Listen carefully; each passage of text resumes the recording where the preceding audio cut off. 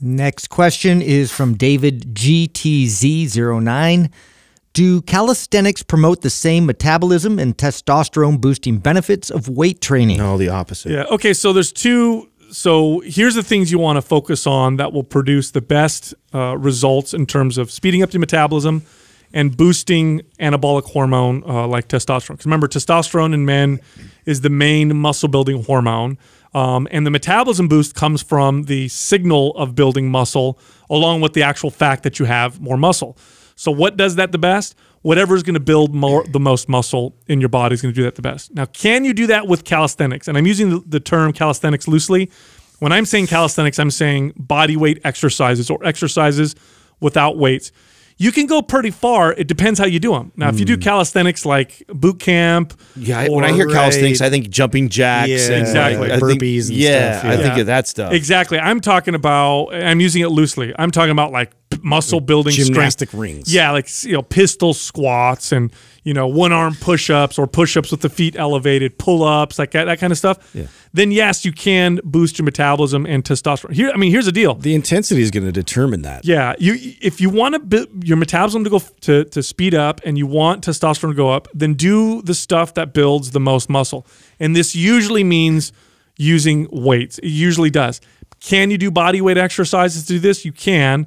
Just requires a little bit more uh, skill. But like you guys said, jumping jacks and stuff like that, no, that's not going to. Yeah, it's hard to answer this because I mean you're pigeonholing us to saying that is is it? I mean calisthenics can, if like for your point, they could do that, but nothing is going to promote it as much as building the most amount of muscle. And calisthenics most certainly is not the way to build the most muscle. If you were to run a standard five by five heavy type of routine, you will put on more muscle mass. You will speed up your te- uh, your metabolism. Uh, a lot more than even doing pistol squats. It's a lunges. better tool for the job. Yeah. You know, and that's Right. just that at the end of the day, that's why we steer people in that direction. But I mean, you can do uh, it with calisthenics, but I I wouldn't even call them calisthenics because of what we kind Yeah. of think of when you think of that. I'd think of it more as like really intensive Body weight training. weight Yeah. that, you know, is usually looks like a gymnastics type of a workout. Yeah, it is interesting though. Um, you know, because consider when when you're lifting weights, you're telling the body to build muscle. When that signal is received, your body tries to um, improve its ability to build muscle. So it knows it needs to build muscle because of the signal. So it tries to build muscle, but then it improves its ability to build muscle. It actually improves its capacity to adapt. This is where the testosterone raising uh, tends to happen because your body's like, okay, we keep getting this muscle building signal and we need to improve our ability. We need to make our ability to adapt to build muscle better. And the way to do that is to raise testosterone.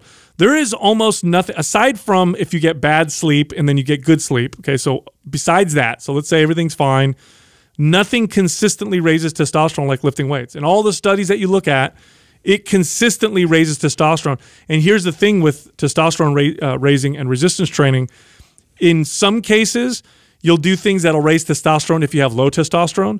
Resistance training raises testosterone in men if they have low, mid, middle, or high testosterone. It just raises it across the board. It's the best thing you could possibly do. So I'm glad that we, you know, we answered this question. But they both go hand in hand. Uh, build muscle. That's what gets the metabolism to get faster, and that's what raises the, the testosterone.